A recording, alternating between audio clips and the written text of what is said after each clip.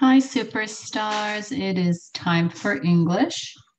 We are on Unit 3, Week 2, and our essential question is What are the different sounds we hear?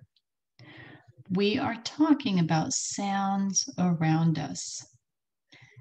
Keep your ears open. So we use our ears to listen to the sounds around us.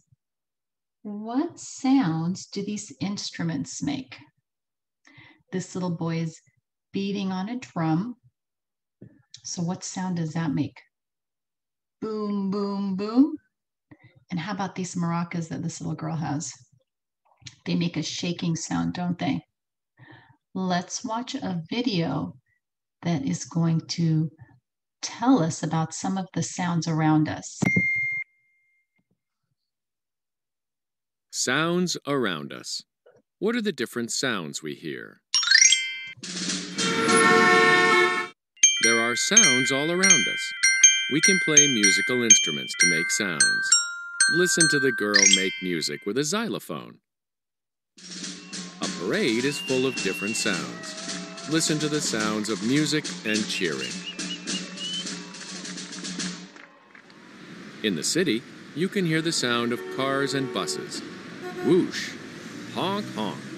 Sounds are all around us. What are the sounds that you hear? Think about the different sounds you hear when you go outside or when you're driving with your parents in the car. You hear so many different sounds.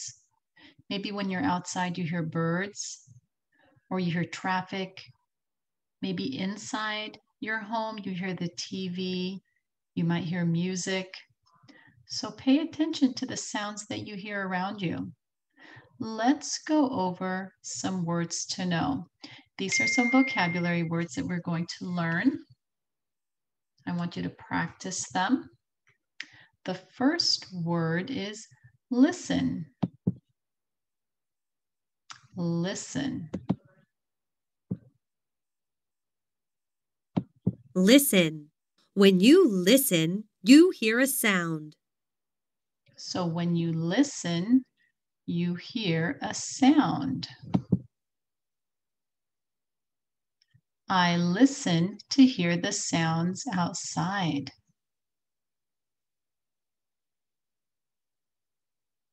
Why do you listen when the teacher reads a story?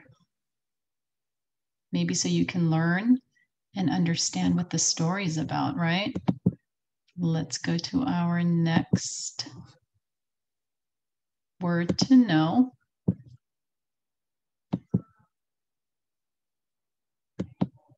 It is exclaimed. Can you say that with me? Exclaimed. Exclaimed means to have spoken suddenly in surprise, anger, or excitement, exclaimed. Here's an example. You used my bike without asking me, Lisa exclaimed to her sister. Have you ever exclaimed something in excitement? Give an example. Have you ever exclaimed something All right, let's go to our next word. Let me clear this first. Our next word is volume. Volume is how loud or soft a sound is. The volume of the music was too loud. When is the volume of your class loud? Volume. Can you say volume? So sometimes you turn the TV's volume loud and sometimes you turn it low. Volume.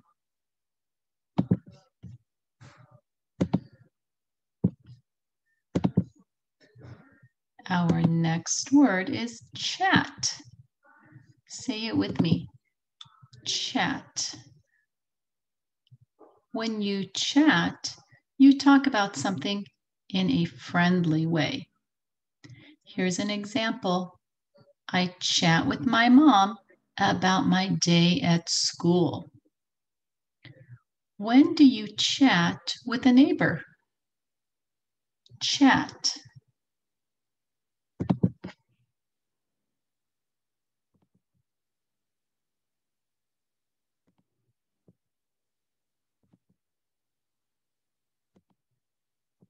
Our next word is familiar. Say it with me. Familiar. Something that you know well is familiar to you. Our classroom is very familiar to us. What other place at school is familiar to you? Familiar.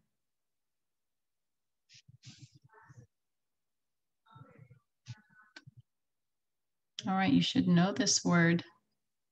Let's read it together. And.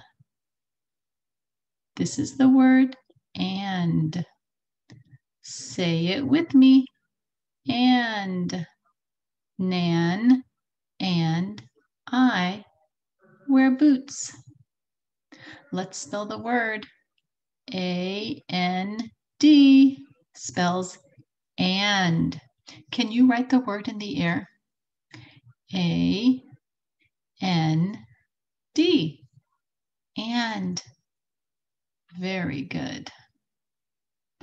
Practice those words. I'm going to read a story about many sounds in a town.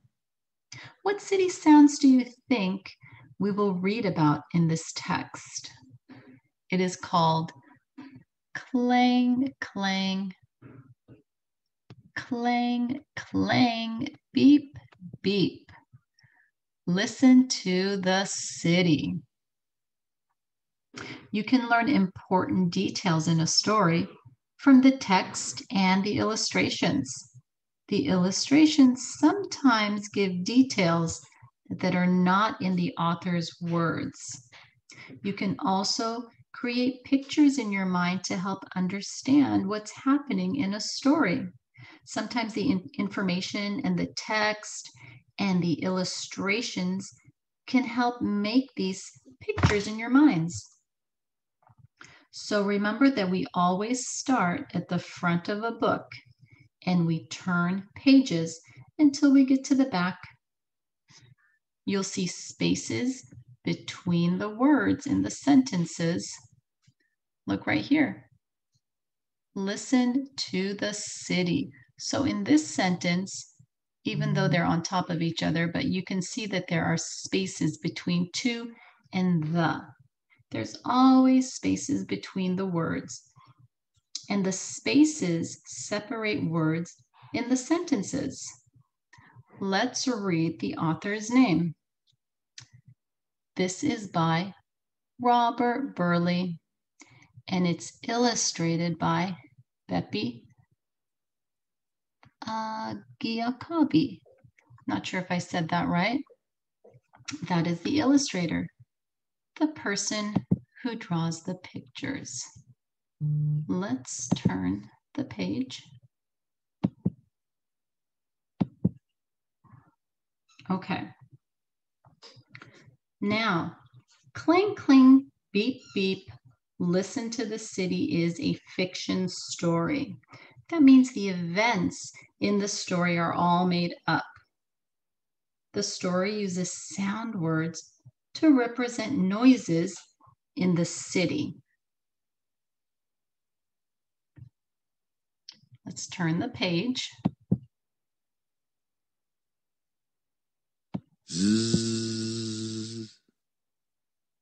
Well, I can see the boy sleeping. I also see that it's getting light outside. I think he'll wake up soon and get out of bed. So there were no words on this page, but if you look at the illustrations, it gives you clues, right? Let's turn the page.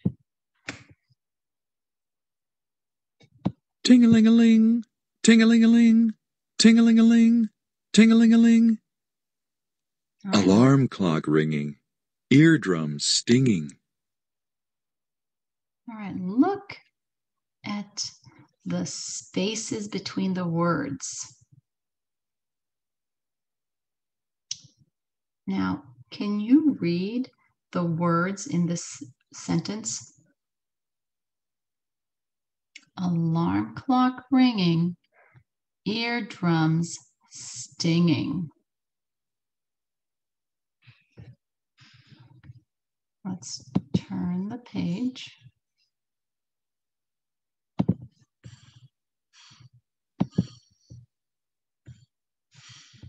Groo, clunk, thunk, thunk. Big truck rocking, trash cans knocking. I can picture in my mind what the boy is seeing and hearing when the workers grab the trash cans and dump the trash into the truck. So, in my mind, I can see trash cans flipping over and rolling on the ground after the workers put them down.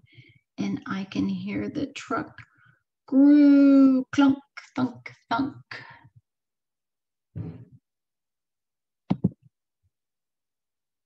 Rumble, rattle, snore, roar. Subway roaring, riders snoring.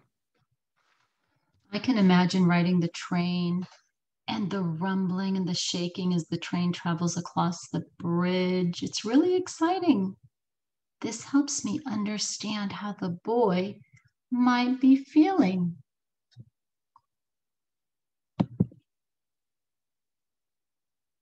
Flutter, flutter, coo, coo, coo. Pigeons strutting, kids shortcutting. What do you think the words flutter, flutter means below the bird? Maybe they represent the sound of the bird's wings, right? Strutting. Look over here to this word. What do you think strutting means? Pigeons strutting. That means walking in a stiff, proud way. Strutting.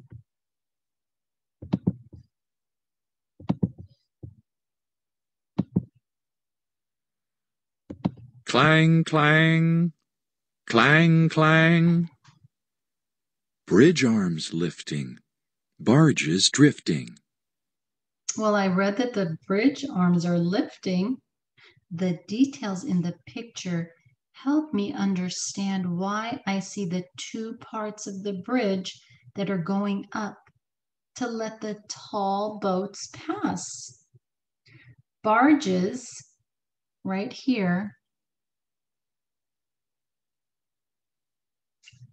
this word, barges, means large boats with flat bottoms. Those are called barges.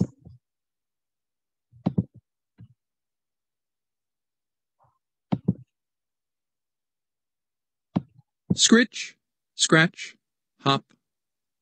Scritch, scratch, hop. Sidewalk chalking. Jump rope talking.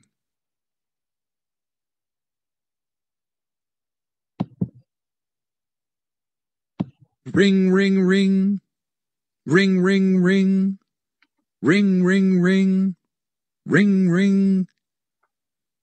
Big crowd yelling. Ice cream selling. What can you picture in your mind to help you understand how the boy might feel standing in the crowd? I can picture lots of people around me, making it hard to see very far.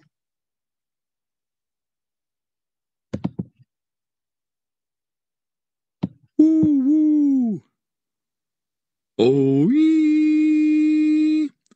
Oh. Traffic streaming. Sirens screaming. The boy and his mother are in traffic. and the ambulance is making a loud noise. On the cover, the cars were all making the beep beep noises too. I wonder if the cars will make this noise in the story. Let's find out. Beep, beep, beep. Beep, beep, beep. Beep, beep, beep. Drivers shouting, in and outing. They did make that beep sound, didn't they?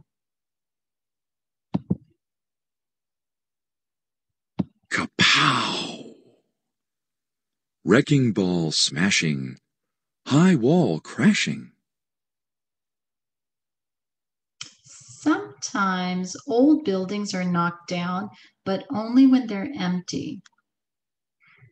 The workers in the picture, they're marking to make sure everyone stays safe.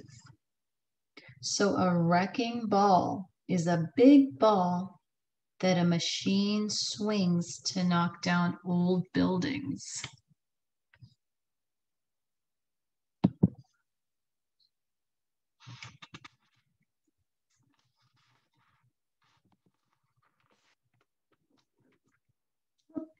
Blink,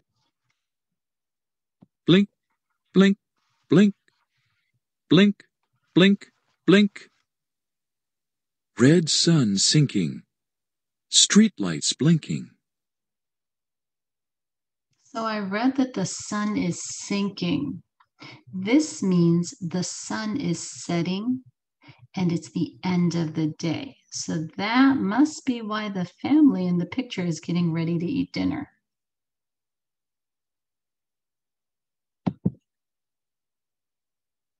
Zzz. Tick, tick. Moonlight beaming, children dreaming. How is this picture like the picture at the beginning of the story? The boys in his bed in both pictures. How is this picture different? Well, it's a little darker, and the beam is from the moonlight, not the sunlight. So when it says moonlight beaming, beaming means sending out rays of light.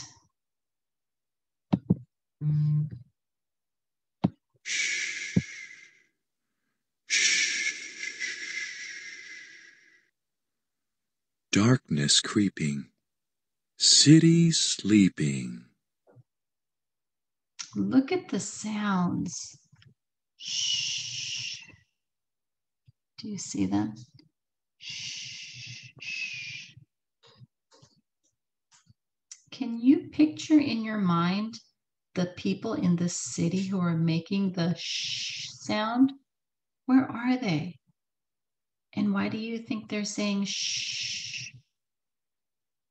I think they want to sleep. Looks like they're in their apartments and it's noisy outside. So they're saying shh so they can try to go to bed. All right. What time of the day is it now? How can you tell? It is nighttime and it's dark outside and there's a full moon.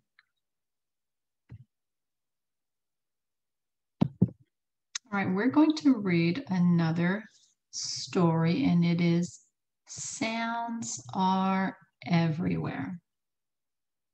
So let's look before we start reading. Let's look over here on page 35. This right here is called a caption. Can you say caption? Captions give more information about the photographs this caption tells more about the vibrations. So it says vibrations travel in sound waves to our ears.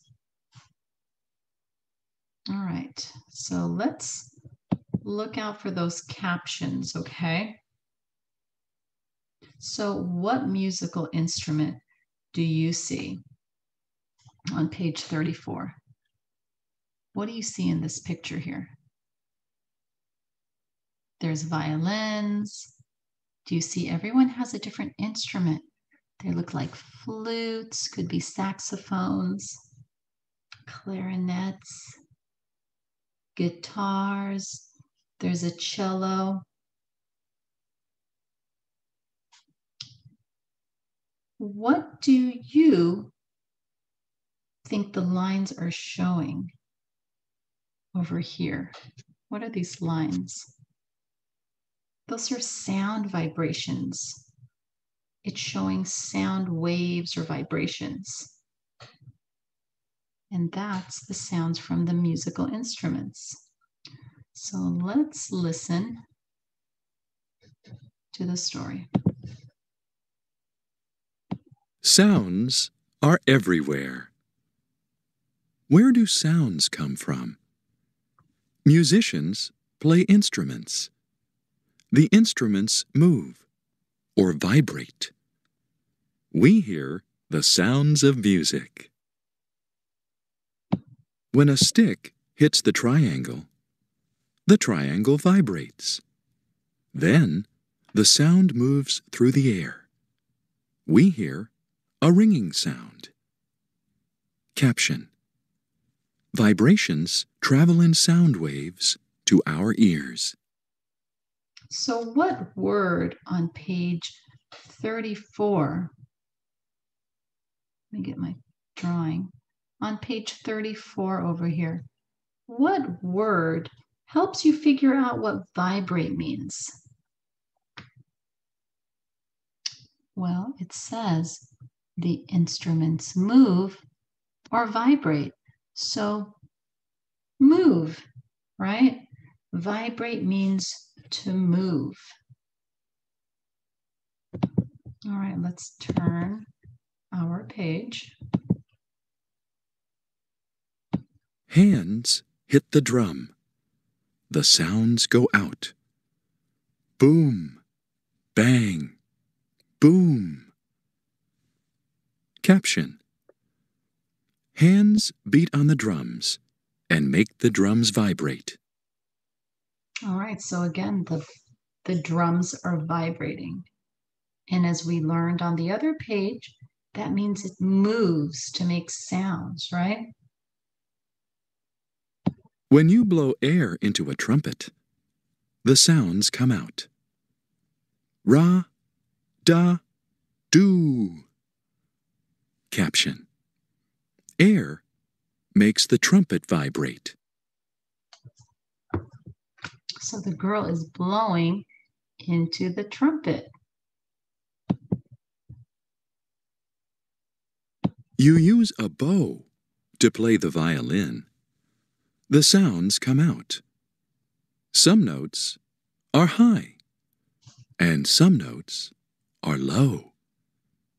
Caption The bow rubs against the strings to make them vibrate. The sounds blend together. We can clap along. Some claps are loud. Some claps are soft. It's fun to make sounds. Caption Volume is how loud a sound is. So let's look here on page 39. How are the people in the photograph making sounds?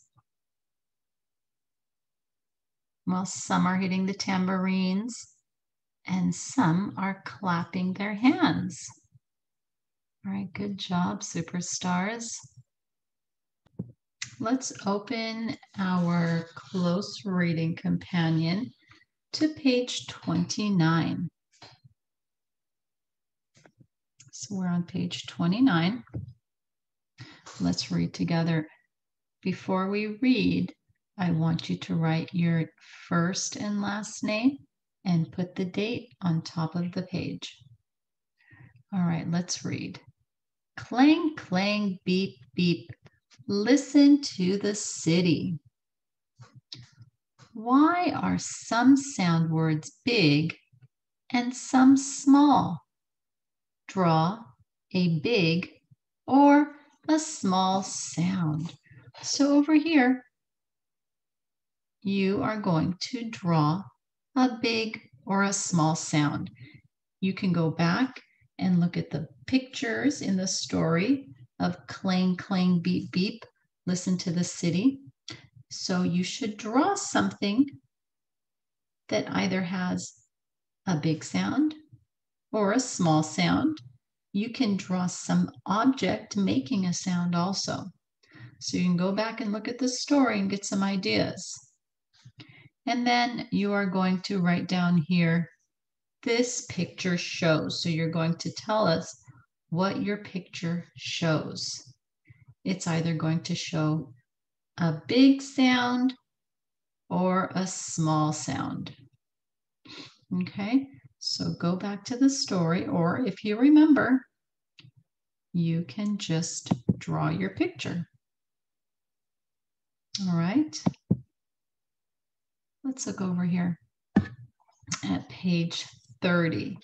Now remember to put your name first and last and the date on this picture also. So it says, how do the words and pictures show sounds at this time of day. So draw clues. All right, well, some of the clues to tell what time of day it is would be like a family having dinner, right? Or maybe the sun is setting, and that gives us a clue to what time of the day it is. So the pictures and the words show if it's evening or bedtime, what do the pictures and words show? What would they show if it was evening time? It probably would show that it is quiet because everyone's going to sleep in the evening. So draw a picture so you can draw something that's going to tell us what time of the day it is. And again, you can go back and get some clues from the story. All right, let's look at page 31. Don't forget your first and last name and the date. Now we read the story. Sounds are everywhere. So find clues. What sounds do you hear? Circle the instruments that make the sounds. So circle the instruments that are making the sounds. The drums are making sounds, right? How about the trumpet? The trumpet is making sounds too. Boom, bang, boom are sounds made by what instrument? A drum. So you would write a drum. Does that look like an R? It's a sloppy R. Ra, da, do are sounds made by a trumpet. Let me see how well I can write this. A trumpet. All right. Good job, superstars. Until next time, have a wonderful day. Bye.